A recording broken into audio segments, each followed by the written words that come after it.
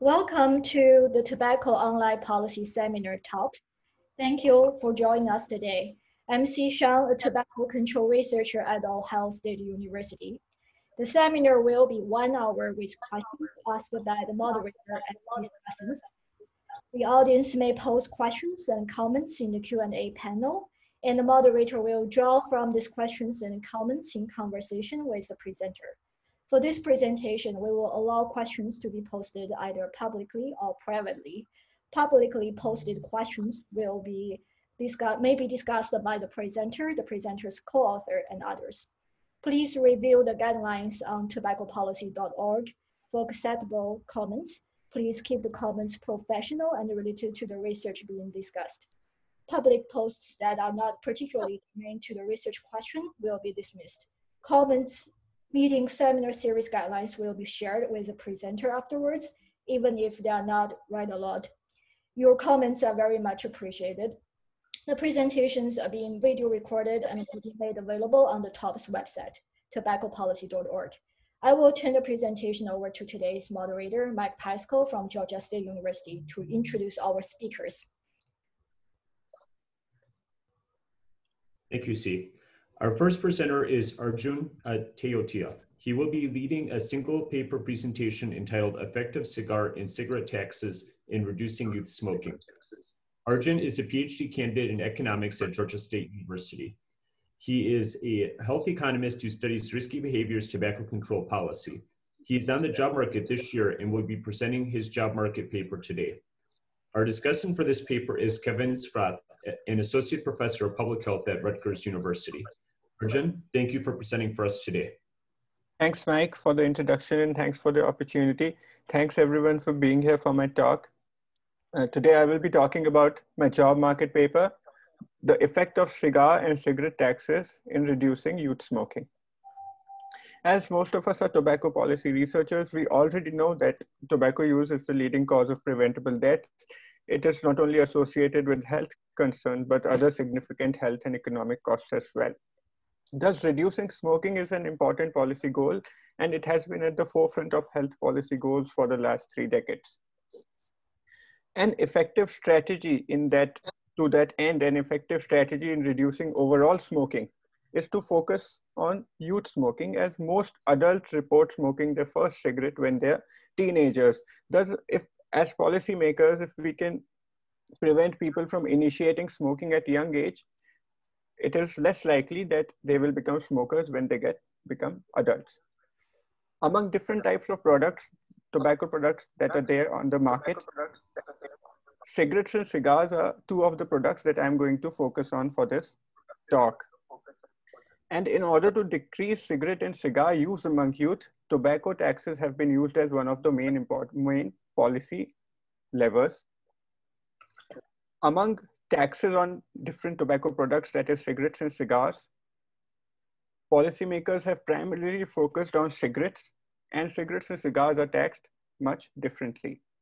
Thus, in this paper, I study whether cigar and cigarette taxes reduce cigar and cigarette use among youth. When I talk about cigars, the first thought that usually comes to our mind is that of Winston Churchill smoking a large cigars. And at this point, I want to differentiate between different types of cigars that exist in the market. We have three different types of cigars. First, it's a little cigar. A little cigar is very close to a cigarette, and the only difference between the two is in the weight of the two products. And little cigar is rolled in tobacco paper, whereas cigarette is rolled in uh, regular thin paper.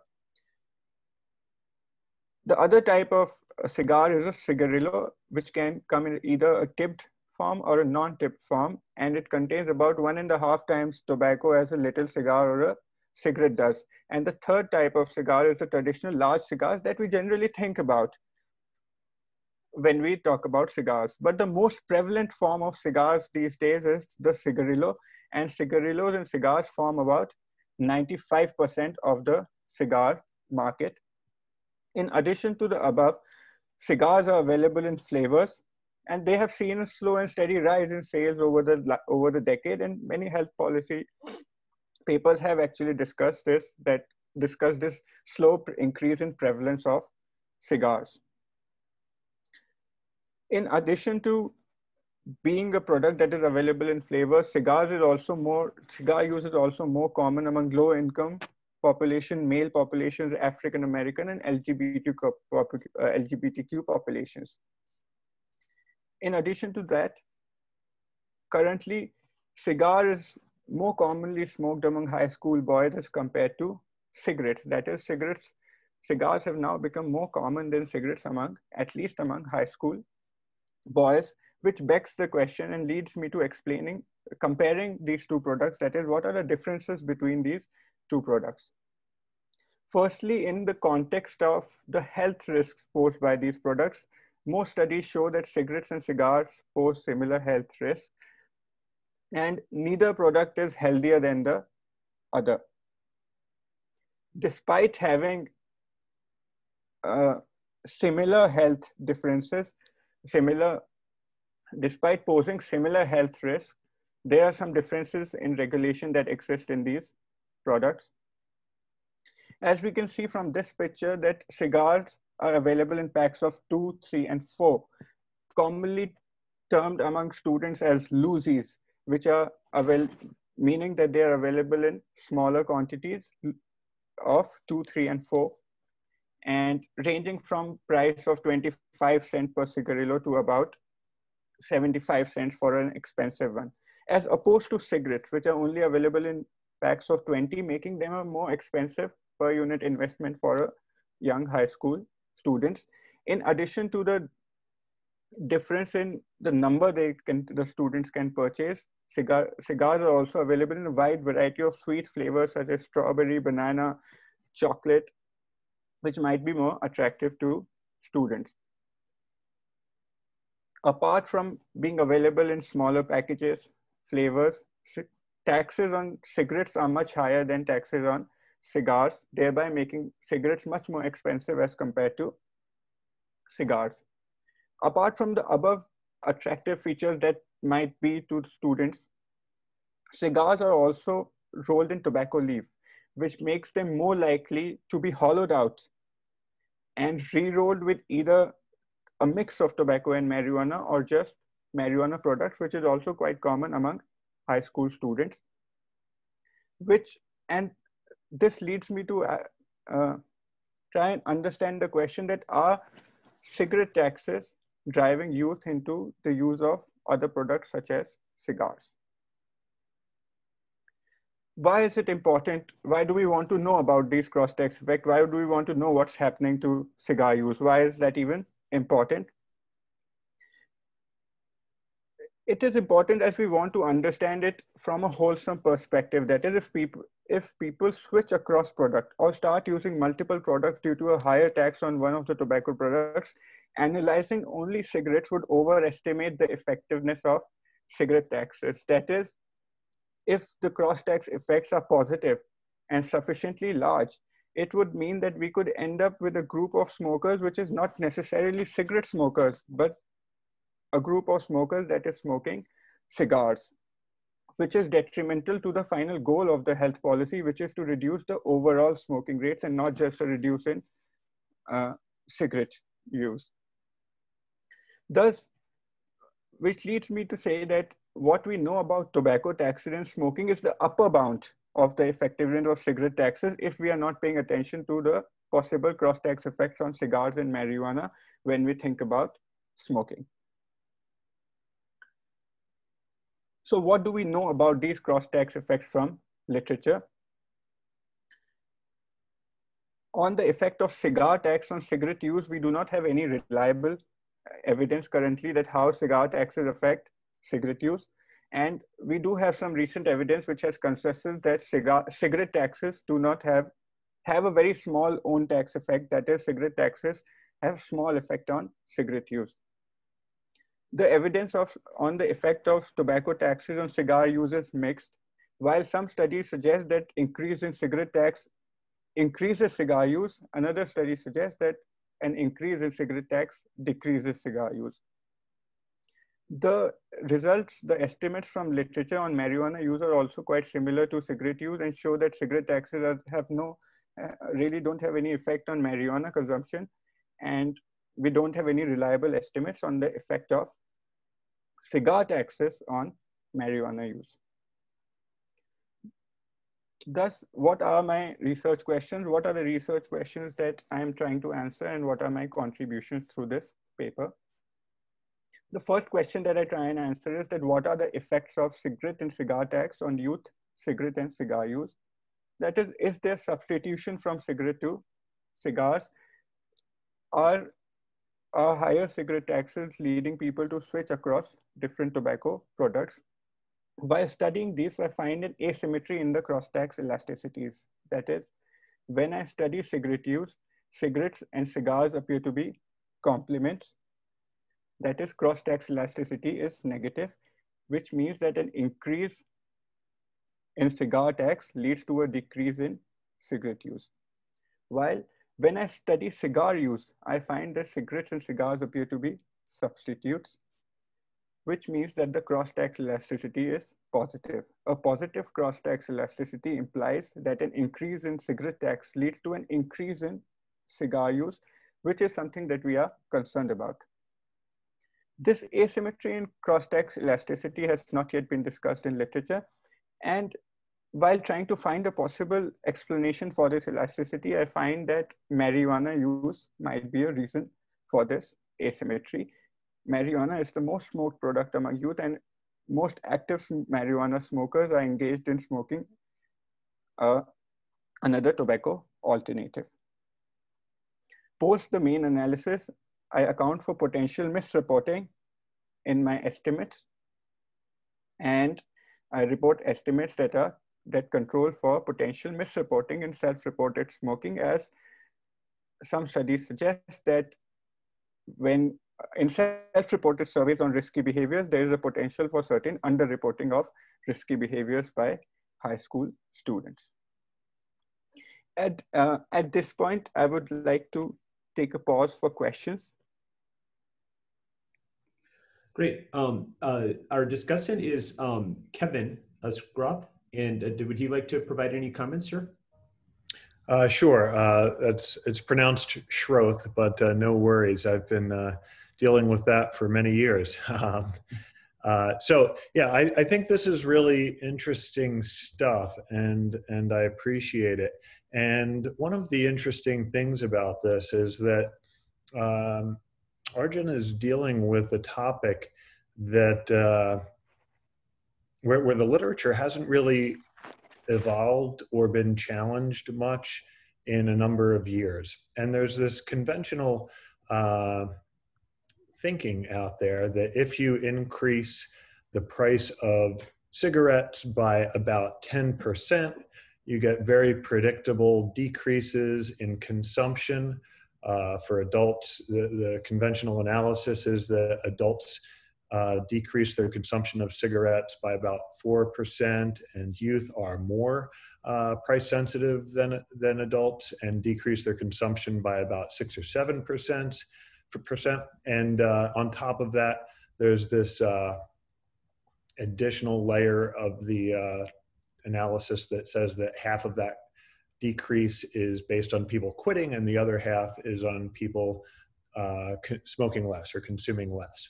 And that's that's it. That's that's a very conventional body of research that's uh, been out there and has been established uh, in places not just in the U.S. but in places around the world. But it doesn't deal with the idea of how other tobacco products fit into the equation and nor does it deal with the question of what you know what's happening with marijuana and and that's why this study is interesting it's dealing it's it's kind of opening uh, the analysis into a broader level and on top of that okay so maybe there is some truth to some of those old studies or at least there perhaps there was at a period of time. But when you look forward and you have adult cigarette use declining from somewhere in the 20s, uh, 10 to 15 years ago, down to 13 to 15% now, depending on the jurisdiction, and youth smoking going from somewhere around 17 to 20%, depending on the jurisdiction 10 to 20 years ago, down to about 5%. So when, when youth use gets down to a level that's that low, 5%, it makes sense that there might be different responses to changes in price. Uh, so, so I'm going to uh, stop at this point. I, am sure I'll have some more comments as we get uh, into uh, a little further into the uh, analysis. And if you have any comments in response to some of my initial observations, I'd be interested in hearing them now. Thank you. Those were some great insightful observations. And, uh, and I agree with you on having a very, most of us having a very conventional view of the market. And one thing, one point that I think we usually miss is that the industry has evolved much. 20 years back, cigarettes were the only most important product that was smoked. So much so that 1994 Surgeon General report did not mention that there were the alternative tobacco products exist. So I think that in that context, the market has evolved that much that since when government bans products, flavored products or uh, flavored cigarettes, market comes up, the industry comes up with some other alternative that they might, because they don't want to lose that market share. So as policymakers and researchers, we need to think a little differently because we, the market to, today is not uh, the same as it was 20 years back and the products have evolved. So just focusing on one side of the picture gives us probably not the right approach to go ahead. Thanks, Arjun. Uh, in in um, uh, respecting the time here that we have left, I think we will hold the the Q and A questions for um, for after your presentation to allow you to finish that, and then hopefully we have time to um, circle back to these Q and A questions. Thank you. I will carry on with my data section. To answer my question, I use national uh, individual level data from the national and state YRBS, Youth Risk Behavioral Surveillance System. The YRBS is a set of repeated cross-sectional surveys carried out every other year since 1991. I use data since from 1999 to 2017 as the YRBS started asking questions on the use of alternative tobacco products only since 1999 among my dependent variables from the YRBS, I use current cigarette use, cigar use, and marijuana use. Current use of a product is defined as having used that product on at least one day in the last 30 days. Among the individual level covariates I use from the YRBS are age, sex, and race. I have approximately 875,000 observations from the YRBS. I match those observations with data on state cigarette and cigar taxes from the CDC state system. In addition to matching that data with tobacco taxes, I control for factors that might affecting smoking or any policies related to smoking by uh, controlling for factors such as comprehensive smoke-free air laws, marijuana decriminalization laws, marijuana legalization laws, state per capita personal incomes, and state unemployment rates. In addition to these policies, I also control for various policies on e-cigarettes, such as e-cigarette minimum purchase, uh, minimum age purchase laws, as well as the presence of e-cigarette taxes in any of the states. Table one presents summary statistics from my data set. And as we see that since 1999, cigarette smoking has fallen from about 32% to 8%. During the same period, cigar use has seen a more modest decline from 17% to 8%. In the current wave of data in 2019, cigar use is actually higher than cigarette use among high school students. Interestingly, marijuana is the most popular product that is smoked among youth. Most active smokers in the as most active young smokers smoke marijuana, and most marijuana smokers also smoke multiple tobacco products. About 70% of cigar users smoke marijuana. During 1999 to 2017, cigarette taxes have also seen a very drastic increase and have increased by about 300% from 50 cents per pack in 1999 to about $1.94 uh, per pack in 2017. During the same period, the increase in cigar tax has again been very modest and which, uh, which it has only increased by about 60% during my sample period.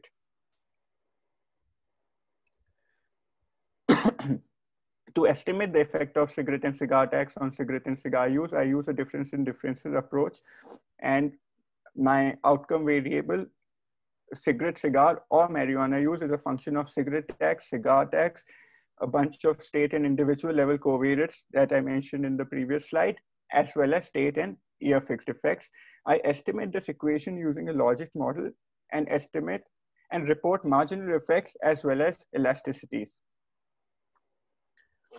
Identification of the causal effect comes from uh, within state variation. As I use state and year fixed effects in my model, it accounts for factors that change over time but are constant across states and factors that are constant over time but have are different across state which leaves the variation the identifying variation as the within variation that exists among the number of changes or variations that are that exist in cigarette and cigar tax during my sample period 47 states changed their cigarette tax between one uh, between uh, 47 states changed their cigarette tax between 1999 to 2017. The maximum number of changes were about 13 tax changes per state, and the minimum number was uh, zero. Few states uh, did not change their cigarette tax during the entire sample period. During the same period, 36 states changed their cigarette cigar tax at least once. In total, there were approximately 350 tax changes in my sample period. Table two shows my main results from the analysis. Column one shows cigarette use as the dependent variable. Column two shows cigar use as the dependent variable. And column three shows marijuana use as the dependent variable. I will uh, uh, interpret the coefficient that is in block, uh, that is in bold that is the elasticity estimate, which is the percentage change in participation over the percentage change in the tax of the product. From row one, row one shows the coefficient of cigarette taxes and I find that a 100% increase in cigarette taxes leads to a 2.11% and insignificant decrease in cigarette use whereas a 100% increase in cigarette tax leads to a 12.64% increase in cigar use and a 7.48% and statistically significant increase in marijuana use. Results from row two, which show the coefficient of cigar tax, shows that a 100% increase in cigar tax lead to a 5.03% decrease in cigarette use, a 0.58% decrease in cigar use, and a 4.73% decrease in marijuana use. Thus, what do these results mean? Firstly, as we see that there is an asymmetry in the cross-tax elasticity. Row one, column two shows that increase in cigarette tax increases cigar use. And row two, column one shows that an increase in cigar tax decreases cigar use. And that's a conundrum that I have, have been trying to understand that why would we see different cross-tax elasticities for products that are so similar? And the explanation possibly lies in analyzing a third product, which is the most active product and which leads to the possibility of thinking about it in a different way. That is, we are facing the possibility of different groups of smokers. That is, we have cigarette smokers, and there's a group of smokers that are primarily marijuana smokers, but they usually use cigars not to smoke cigars, but to use cigars along with marijuana, as can be seen with the different, with the cross-tax elasticities.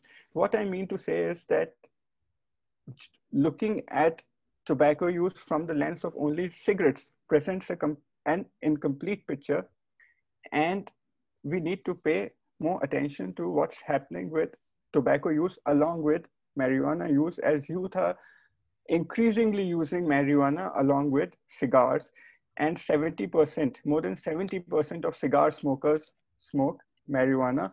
So at this stage, when we are a lower proportion of youth are actually smoking tobacco, we want to think at it, we want to go at this problem probably from a different perspective. That is, these are, this might not be the group that would be discouraged from smoking by just increasing cigarette taxes. We need to look at it from a more wholesome perspective of uh, policies on cigar tax as well as policies on marijuana use. Thus, what are my main conclusions? Reducing, firstly, reducing the difference between cigar and cigarette tax can help reduce smoking. Increasing cigar tax can be an effective tool to reduce smoking and we need to pay a little more attention to it.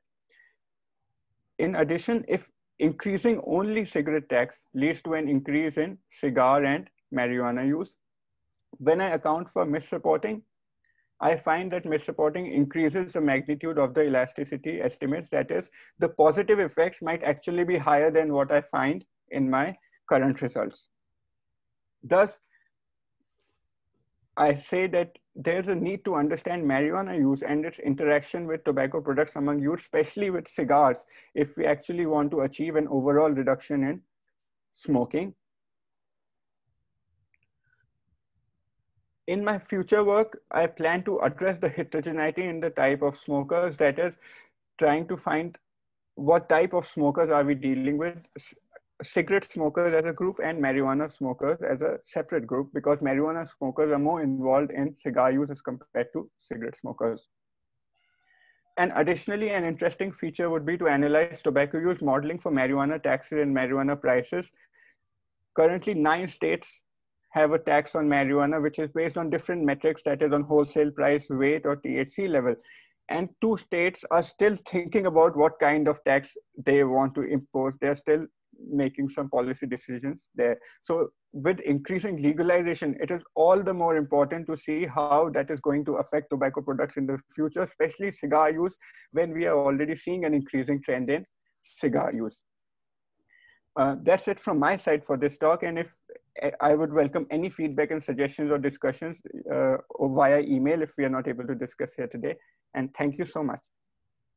Thanks, Arjun. Um, so we only have uh, two minutes, uh, so I'll give Kevin a chance to make some comments, and then um, likely we won't have a chance to uh, discuss the Q&A. However, Arjun, you can uh, answer the questions in the Q&A then during Daphne's talk. And if anybody else wants to um, ask Arjun questions, go ahead and do that. Just put Arjun's name at the top of the um, of the the question so that Arjun knows that that one is directed to him. Um, go ahead, Kevin. Sure, thanks. Um, so first, I'd just like to congratulate Arjun on doing some really interesting work and uh, kind of opening the the lid of the box onto a whole uh, a very promising and interesting vein of uh, analysis that can be done now and in the future.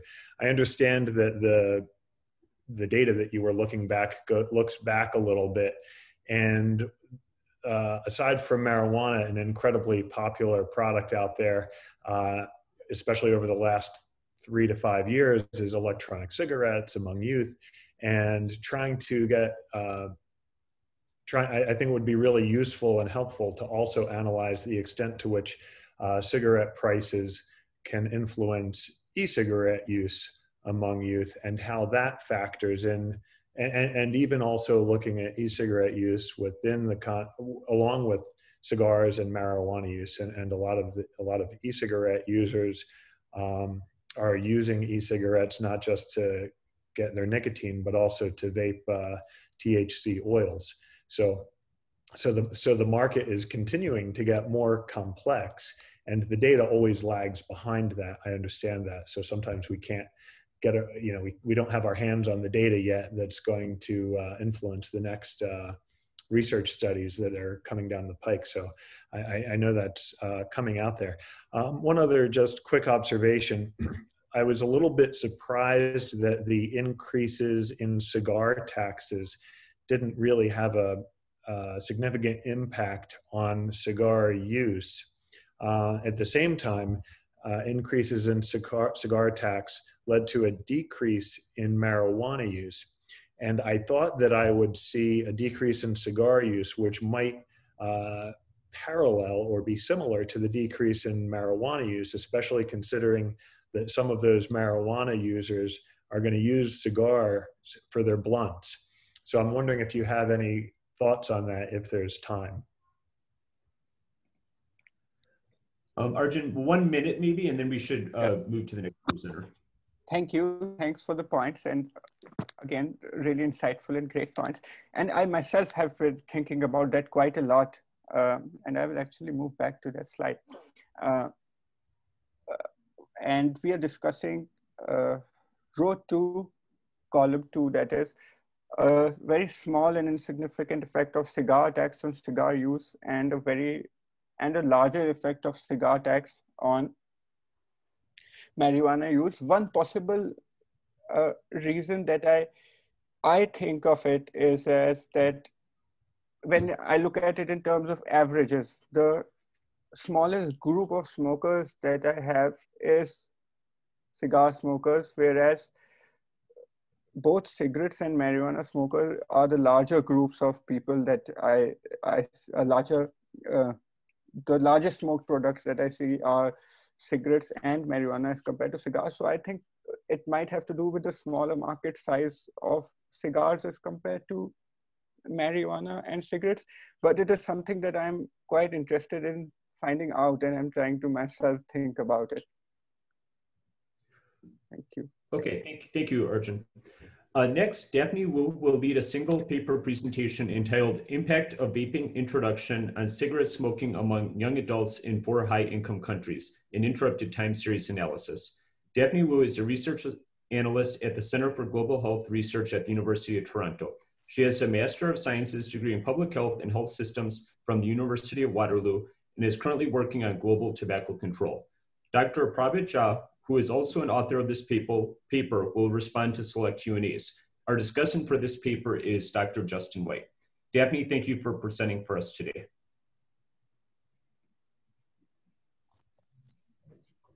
Can I share screen? I see you, but I don't see your slides. Uh, I'm trying to share screen. It says host disabled participant oh. Arjun, could you make Daphne the host, please? Yes, just a moment. Uh, where do I make host from? Where? Uh... You just click on Daphne's name and it'll give you the option of uh, uh making host if you right click. Make host. Great, thank you.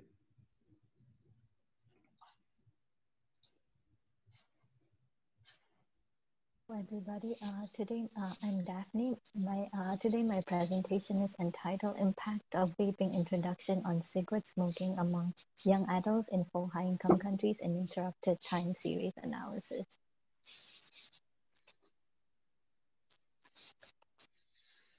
Uh, here is the agenda for today. We'll start with a bit of background on e-cigarettes. So uh, use of electronic nicotine delivery systems, particularly e-cigarettes, also known as vaping, has become popular in many high-income countries in recent years, especially among youth and young adults. Electronic cigarettes or e-cigarettes are handheld and generate an aerosol containing flavorings with or without nicotine, thereby mimicking the look and feel of conventional cigarettes. There's been a long-standing debate on whether e-cigarettes act as a gateway to cigarette smoking among youth and young adults. That is, whether it would lead to smoking among those who would otherwise not smoke in the future. So based on that, our research question for today is, does vaping introduction reduce or increase the sex-specific prevalence of smoking among youth, among young adults in Canada, subnationally and nationally in the UK, Japan, and Australia. And we did uh, the analysis uh, subnationally by province in Canada because unlike the UK, Japan, and Australia, vaping regulations by provinces in Canada do vary quite a bit. And our hypothesis is introduction of vaping reduces sex-specific prevalence of smoking among young adults in the four countries. Uh, here is the methodology. We chose the four countries of UK, Canada, Japan, and Australia based on availability of data on smoking prevalence by age and sex, and then availability on cigarette on data on cigarette sales, which we use as an indicator of cigarette consumption. And in all these countries, they have different uh, approaches to vaping regulations. For, for example, in terms of max, maximum perm, permissible nicotine level allowed in these countries is the highest in Canada for, of 66 mg per mils, one third of that at 20 mg per mils in the UK whereas nicotine is not permittable, is not permitted in e-cigarettes in Australia. And in Japan, the very popular heat not burn products similar to e-cigarettes has nicotine levels comparable to cigarettes. And for our study, the uh, measures of smoking that we used is the first is the prevalence of smoking among young adults, which we defined as individuals aged 18 to about 30, stratified by sex. And second is the annual cigarette sales, which we use as an indicator for consumption per adult aged 18 years and over. Uh, we'll, uh, we'll take a break at that for about five, five minutes of questions.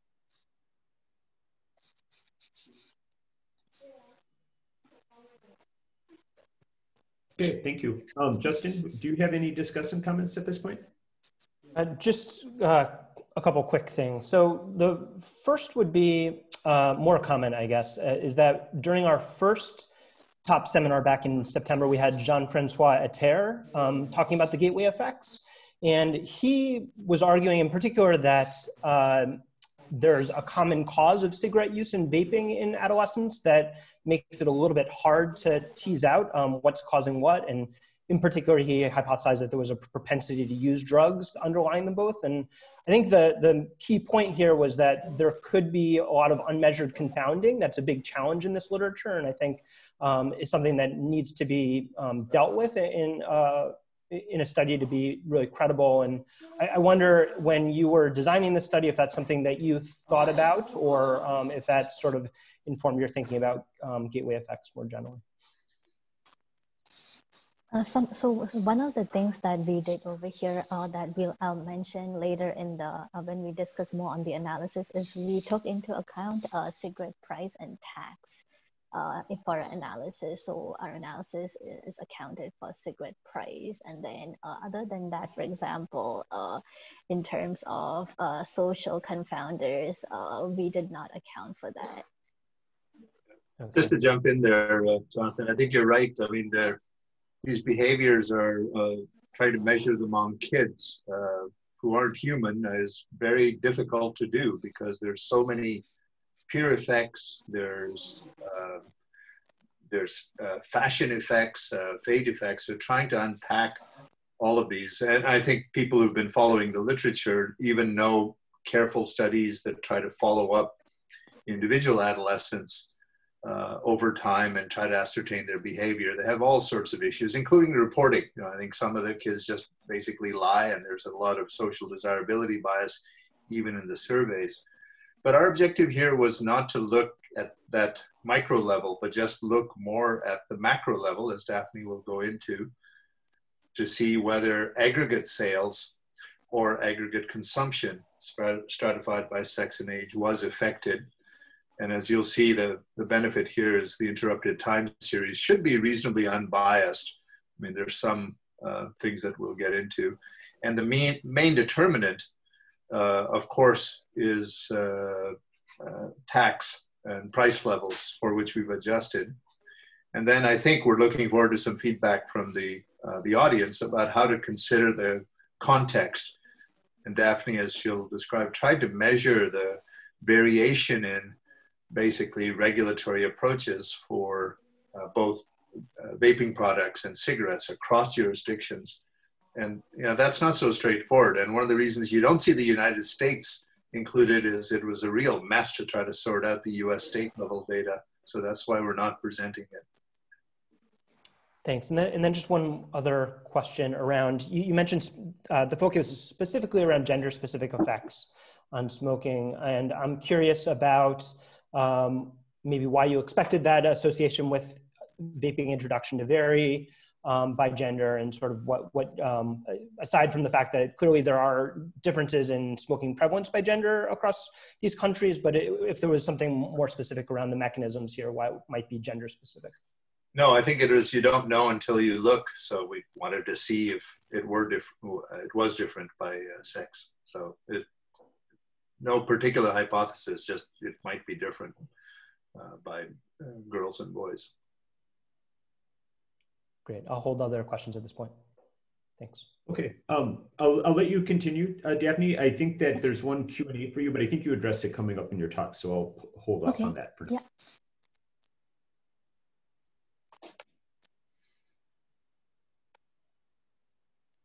So here is the data source for our study for uh, the prevalence data. They are mostly nationally representative surveys for the countries. And each group, uh, group analyzed, there are 18 plus minus about 34 at the, at the upper end. Uh, that's just because based on uh, what is available for the countries and the consumption data some, for, for, uh, for Canada and Japan, the consumption is measured in terms of number of cigarettes uh, sticks sold, and for the UK and Australia, that uh, the sales number was in terms of uh, local currency units. And uh, for our analysis, we use interrupted time series analysis or ITS. In an ITS analysis, a series of observations over time is used to create a trend using a regression. So we can, we can uh, use the figure on the right as reference. The green line at the bottom that's starting at about 22, that is the let's say that is the first set of lines that we call the underlying trend before the intervention. For example, in this case, the intervention comes into effect in 2004. So how we do it is uh, we look at the difference in the slope before and after the intervention and using that we quantify the effect of the intervention. And in our study, the intervention here is the uptake of e-cigarettes for which there is no uh, fixed intervention point because e-cigarettes is not like a policy where it comes into effect at a specific time point. And then for, uh, therefore, because there is no uh, fixed intervention time point, we use the first year when national surveys included questions on the use of e-cigarettes. Whereas for Japan, uh, instead of using e-cigarettes, we use uh, heat not burn products, which are popular there. And then we use 2016 as the intervention year in Japan because uh, the first survey that asked questions on use of HNB products, which must, much, was much later in 2018. And the unit of analysis is province for Canada and country for UK, Japan, and Australia. And the model was adjusted for cigarette tax or price as a potential confounder. So our, uh, here is our results. We, I'll first present the results by province in Canada. So in Alberta, we used 2013 as our intervention year. We found that using 2013 as the intervention year, e-cigarette uptake did not have a significant impact on cigarette smoking among males aged 18 to 34. So uh, the y-axis is smoking prevalence and year on the x-axis, whereas in females, we see that after each e-cigarette introduction in 2013 as assumed, cigarette smoking prevalence declined significantly slower after 2013. So we see uh, the slope change, a positive slope change indicates that a slower decline, a slower decline in cigarette smoking prevalence was observed uh, after than before. So and, and the red numbers indicate significance. Whereas uh, cigarette consumption in terms of uh, sales per adult, it increased significantly in 2013, but declined significantly faster after 2013 compared to before. Uh, in British Columbia, we found no significant effect of e-cigarette introduction on either the level change or slope change for, for either males or females or in cigarette consumption per adult of no significance. Uh, in Ontario, we see that for males aged 18 to 34, e-cigarette introduction, after e-cigarette introduction, uh, smoking declines smoking declined significantly faster after compared to before, whereas for females in 2013, smoking uh, prevalence declined uh, significantly in that year. Uh, this falls in line with what uh, what our sales data tells us. Our sales data tell us that after e-cigarette introduction, smoking declined much faster than before.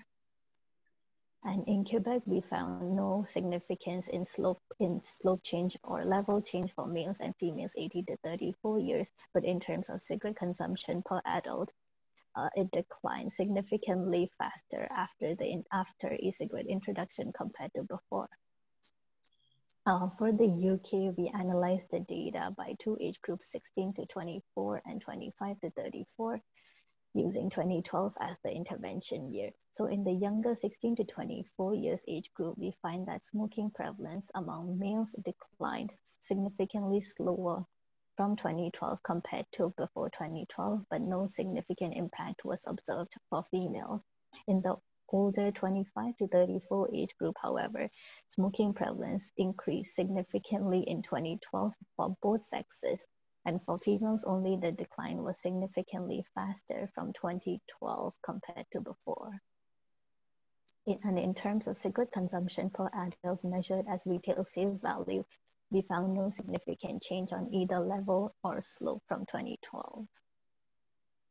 And in Japan, using 2016 as the intervention year, we find that smoking prevalence among uh, males and females in the younger 20 to 29 year age group declined faster from 2016 onwards compared to before, but the difference was not significant. But smoking prevalence in the female aged 30 to 39 years age group increased significantly in 2016. In terms of cigarette consumption per adult, measured as number of sticks sold, it declined significantly faster from 2016 compared to before. In Australia, we use two national surveys, the Australian National Health Survey, AHS, and the National Drug Strategy Household Survey, or the NDSHS. Both surveys are conducted every two to three years. So for the purpose of a study, we interpolated the data between two survey years to obtain annual estimates. So for males aged 18 to 24 years, using 2016 as the intervention year, we found that smoking prevalence increased significantly from 2016 according to both the surveys AHS and NDSHS. But for females, smoking declined significantly faster from 2016 according to AHS. It also declined according to the NDSHS, but the decline was not significant. Among those aged 25 to 34 years, we found no significant change in either level or slope change from 2016. In terms of cigarette consumption per adult measured as average spending on tobacco not including e-cigarettes, cigarette consumption increased significantly in 2016 and the trend in decline slowed down significantly from 2016. So here is the summary of our findings in more detailed numbers. So we find that uh, generally in Alberta, we see that uh, cigarette consumption, it declined faster after the intervention. And similarly, this was also found in Ontario and Quebec, not in BC. Whereas uh, in the in the UK and also in the UK and Australia, we see that e-cigarette introduction actually slowed down the decline in smoking. Whereas uh, in Japan, Japan was uh, what we observed in Japan was similar to what was found in Ontario. Uh, that after e-cigarette introduction, uh, cigarette smoking increase, cigarette smoking slowed down significantly faster. So based on what we observed here, uh, we can we can probably uh, interpret it based on the context because all these contexts have different vaping regulations and different maximum permit, permissible nicotine level for vaping products. So um, that's why we are observing the difference in the results. And then this slide basically just shows the difference, uh, the difference in vaping policy. For example, in Canada, the maximum nicotine level permissible in vaping products is 66 mg per ml. In the UK is 20, whereas in Japan is much higher, like in cigarettes, whereas uh, in Australia, uh, nicotine is just not allowed in e-cigarettes, even in terms of vaping policies, for example, in terms of smoking around public places, it varies significantly in Canada. For instance, in Alberta, you see that there's no provincial legislation, whereas in BC, uh, the, the, uh, the regulations are much more strict. Limitations of a study. A study has, has a number of limitations, and these include uh, there is no fixed intervention point for e-cigarettes since e-cigarettes is not introduced as a specific at a specific time point. We also did not account for smoking in intensity and frequency and for smoking loss within in the setting. However, based on this study, we may be able to infer that vaping, whether vaping acts as, as a gateway to smoking among young adults may depend, may be context specific depending on the vaping policies in the country, depending on whether nicotine, what is the nicotine level allowed in the country. For example, in Australia, we see that when nicotine is level, when nicotine is not allowed in e-cigarettes, the e-cigarette introduction actually uh, increase smoking prevalence. Like uh, it slow it uh, made slow the decline in smoking. Thank you. Thank you, Daphne. Um, Thank you. Justin, do you have any further discussion comments? Yeah, really interesting. Thanks so much, Daphne. Um, I, I think I had a similar reaction to some of the other questions about the trying to determine when the intervention point um, should be defined. And so uh, you, you, chose the date when ENDS were first asked about in surveys, and there could be a lag there. And so I wonder if you could perhaps test the sensitivity to, to different dates of introduction, um, or thinking about other objective measures of, of um, the introduction date. Um, so for example, 2016, I think was used in Australia and that seems probably late to me in terms of when it might have been available and similarly in, in some of the other um, countries. So um, it, it, might be worth thinking uh, about that introduction date and, and, how your results change based on mm-hmm. um, that assumption. yeah, we um, did our sensitivity analysis using one and two years before the before uh, what we showed in our current uh, in my current presentation and there was not really any difference okay interesting mm-hmm. Um, I, I, would also be curious to hear more about the regression model that you were using to measure the level changes and slope changes and in mm-hmm. particular looking at the visual evidence in those graphs there it does seem like functional form matters and um, you know it, there, I, I, have a little bit of concern that there might be overfitting, but I'm not clear whether you're using sort of a segmented linear regression on e either side of the threshold, as is common in ITS or not. Um, and especially given that there's only five data points on either side of the threshold in some cases, um, it does seem like I, I, would probably default to that linear uh, specification. Okay. Are you able to say anything more about the regression model that you were using and whether it was? Uh, no, we just used a linear regression based on the based on the observations, and then it was adjusted for cigarette price and tax or tax. Yeah. I, I, think Jonathan, that's in part guided by how the interrupted time series uh, analysis works. So it's it. I mean, it's very simple. You basically are fitting um, a, set of observations, which you've noted are reasonably limited. The number of time points is reasonably limited. And the more time points you have before and after the period change, the more robust it'll be. So that is also a limitation of the data. So it's, you fit a linear trend uh, to the trends uh, that were observed before. And um, then, uh, then we apply this interruption and really quantify the effects of the intervention. Um, and then what Daphne did was adjust for prices in uh, defining the trend lines, uh, prices or taxes. So it's, it's a pretty simple, and you know, that's kind of the nice beauty of ITS is that it's a reasonably simple analysis. Um, some of the comments on the, the chat I think have been helpful because you see that yes, the, the, the tricky part is when did you actually get a reasonable introduction of the product, meaning not just that it became legal, but it had significant enough market share that um, you could affect, you would expect it to have uh, impact on cigarette consumption and either way. So uh, you know, I think that's one of the challenges of trying to sort this out. So hopefully with uh, another year of data, this will become more robust. And I will add one uh, more point, which I think was interesting. The Australia results to me were quite surprising, suggesting at least you know it increased uh, the cigarette uh, use, at least in males, and that's not inconsistent with some of the literature that suggests that, uh, as the point that you were making, that kids are just experimenting. And if uh, cigarettes and vaping products are uh, substitutes, uh, which I certainly believe, then it, uh, it, you know, it might have been that they were uh, kids who weren't into experimenting suddenly had something new to experiment and that might have moved them to cigarettes. So the Australia results are interesting. And very crudely, you do see a, um, a gradient, in, at least in terms of the nicotine levels.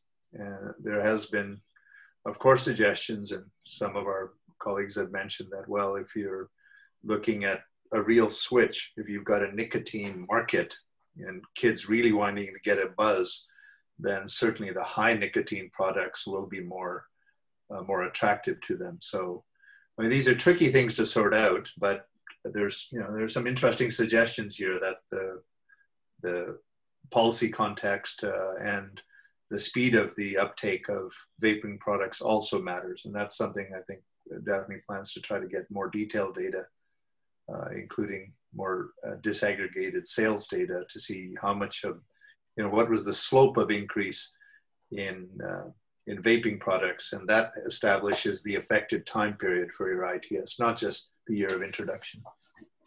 Daphne, do you want to add anything to those comments? Uh, no.